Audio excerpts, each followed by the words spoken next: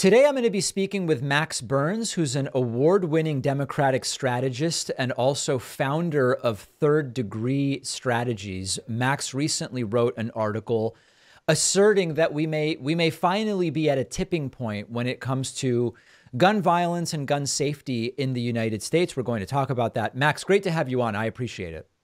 Thanks so much for having me. So, I mean, listen, my audience knows we've heard this so many times before. This we this is definitely a tipping point. You know, Sandy Hook was a tipping point or Pulse nightclub or whatever else the case may be. Even popular reforms like uh, a background check as a requirement for any gun transaction, including private person to person sales, very popular with the American public after Sandy Hook. Can't get it done. So I think people would be right to be skeptical that we are now at a tipping point. So lay, lay it out for us. Why now? What has changed? Well, you're absolutely right. I think the, the gun violence conversation has been one that's been littered with disappointments from the beginning. Uh, but what we're seeing now is a really interesting confluence of factors. One is that even though Congress is essentially useless on gun policy right now, we're seeing a real golden age of Democratic lawmakers in states passing legislation that would have been unimaginable even a few years ago. Gretchen Whitmer, for example, uh, just passed an 11 bill gun reform package. That would have ended her career back in 2008. Now they're talking about her as a potential candidate for president. The other side of this is the NRA. They are in free fall. And what was once the biggest gun rights group in America can now barely afford to keep the lights on in its office, much less fund the candidates that have distorted this conversation for decades. So there's this this unique window of weakness on the right and strength on the left that's really creating a unique space for a gun conversation that leads to actual legislation. I think a couple of the difficulties are, and part of this relates to what is or could be done at the federal level and what is or could be done at the state level. A lot of this right now, for example, when you talk about the Gretchen Whitmer package, we're talking about the state level. And here there's a sort of like moral hazard situation where the states most willing to deal with this stuff often are the ones that already are kind of ahead on the stricter side when it comes to gun safety as it is. So then when we think about, well, how do we deal with this issue in South Carolina or Texas? We start to think federally. And one of the difficulties about federal gun safety legislation is that running on it for national candidates often isn't a great idea from a strategy perspective, which I would be glad to let you speak to as well. But we there's this idea, and maybe it's true, maybe it's not, that when you run national campaigns, including for like Senate, right? Because you you're in DC, but your constituents are in your state, that when you talk about gun safety regulations, you rarely bring new voters to support you, but you often activate people who disagree with you. And so there's that difficulty of saying, well, the way to get Texas and West Virginia and South Carolina to do something is to go federal, but campaigning on this stuff federally often backfires. So, how do you do that?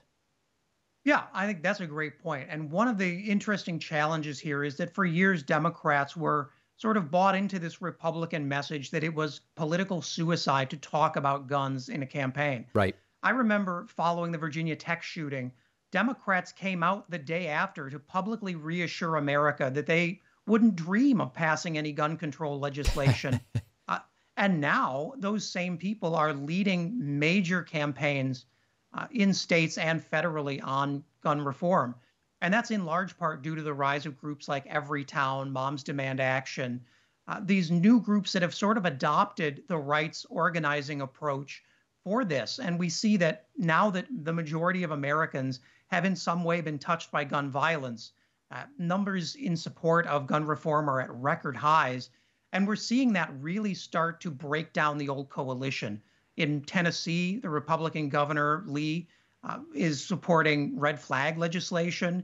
In Utah, uh, the Republican governor, alongside Everytown, passed a bunch of gun reforms that make it tougher to get a gun and require background checks. That, that's a coalition that was unimaginable even a few years ago that Republicans are seeing the pressure mount and actually realizing it's safer to take incremental gun safety steps. This is a, a completely different landscape than I think Republicans are used to playing in. And it's one where Democrats can actually talk about guns and find that people are agreeing with them for the first time since 1994. What is the timeline on which you think we could see action on some of these areas? I think it's much quicker than than we think. If we're looking at states, the more that we've organized, and this is a really key part of Everytown, is they are funding state races. They're cheaper, they have a bigger impact on actual legislation, and we're seeing that start to create a momentum for national change. Once red states, which are disproportionately affected by gun violence, have seen that these things work, they're actually pretty excited to talk about them. And that's something that we're seeing distorted by the gun lobby. But when voters go to the polls, they are voting on this issue. It's a big reason why you see Joe Biden has gone from saying he won't talk about social issues at all in 2024 to opening with a, an ad that talks heavily about gun violence. Democrats can see it's a winning issue, and they're for once really finding their voice here we have in the United States sort of three separate gun issues. You have mass shootings, you have individual homicides affecting one or two individuals per incident, and then you have suicides using firearms. In thinking about, and the, the, the prescriptions would be different for these three different categories. If we think about mass shootings for a moment, um, I've put out a list of 10 or 12 different ideas that would never eliminate every mass shooting, but would certainly do something to reduce the number. And there are some trends that we see when it comes to the mass shootings. Age of the shooter, typically under 25. Type of firearm used, often an assault style rifle. You know, there's these trends that we start to see. What's yep. the lowest hanging fruit in your mind that would blend the most effective changes that could be made with ones that are most likely to actually be politically viable? Well, I think there's this unique moment here that we see with Tennessee, with Utah, with North Dakota that's talking about raising the age for gun ownership. Uh, that you combine background checks, which we've seen even in, in Michigan, was a hugely popular thing. Universal background check used to be a consensus Republican position in the Bush administration. Uh, they have gone so far off on that that it, it, doesn't resemble anything Americans want. But you combine that background check legislation and red flag legislation, and you have immediately handled two of the most vulnerable populations people who are going to use their guns for violence against others knowingly uh, at the time they buy the gun, and people who are going to use it for self harm, disproportionately young people. And in rural communities, in agricultural communities, huge rates of gun suicide. And it all has to do with gun access. And we can talk about making sure guns aren't in the hands of kids without talking about these Republican conspiracies of stealing everyone's guns away. And we're finding that the space for that conversation is getting bigger every year. When it comes to the next, um, what's remaining, I guess I would say, of the Biden first term, and you know, we'll see if whether there's a second term and sort of what framing he uses for for the 2024 campaign given the circumstances in, in the House and Senate, Republicans controlling the House, uh, Democrats controlling the Senate at this point, what's your sense of at the federal level what might be possible? You know, I understand you're saying that Senate Republicans, I'm sorry, that state Republicans to some degree uh, seem more willing to take action. What about things that would have to go through the House and Senate? So that's the really big sticking point here is that Republicans have already said that the bipartisan gun bill that they gave Joe Biden is it for them. They mm. do not want any more. So it's going to be basically a status quo situation until voters in 2024 can be heard. Yeah. And one of the reassuring things we're seeing is that just in the same way that Beltway consultants said, don't talk about abortion in 2022, it'll be polarizing. But that turned out to be one of the leading issues for voters. Uh, we're seeing the same thing now with guns. And it's one reason why Joe Biden, who is, as I'm sure you would agree, very risk averse, is comfortable opening his reelection campaign talking about gun violence. Do you have any insights? And this is getting very specific now. You know, there's something we can look at the gun safety issue, mental health, video games, all the stuff that is always thrown around.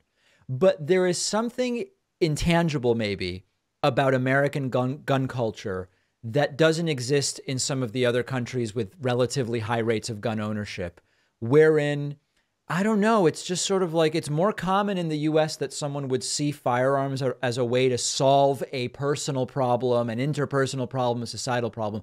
That doesn't seem to be the case in many other countries.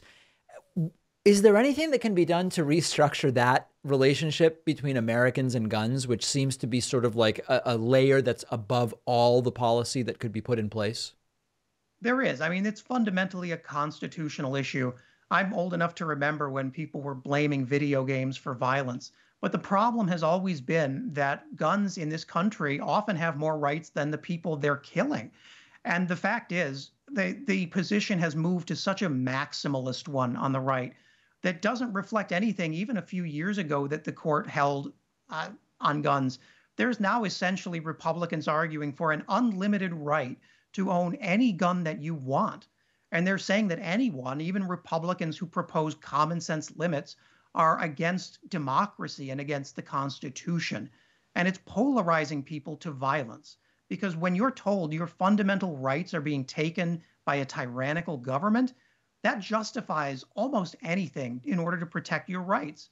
And we're seeing that happen. I mean, we're seeing former MAGA voters in Nevada who shot at elected officials they thought were stealing an election uh, until the Supreme Court or Congress gets some constitutional momentum to rethink the madness of our current interpretation of the Second Amendment, it's tough to get anything long term accomplished.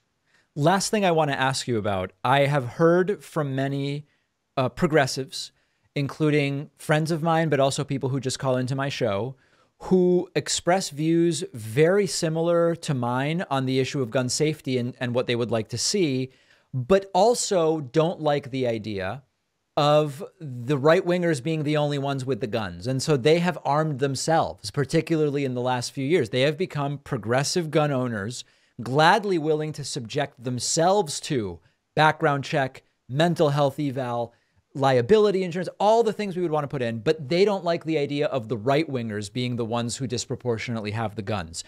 Have you seen this? Have you heard it? Is it a race to the bottom or a logical reaction to what we're seeing out in the world?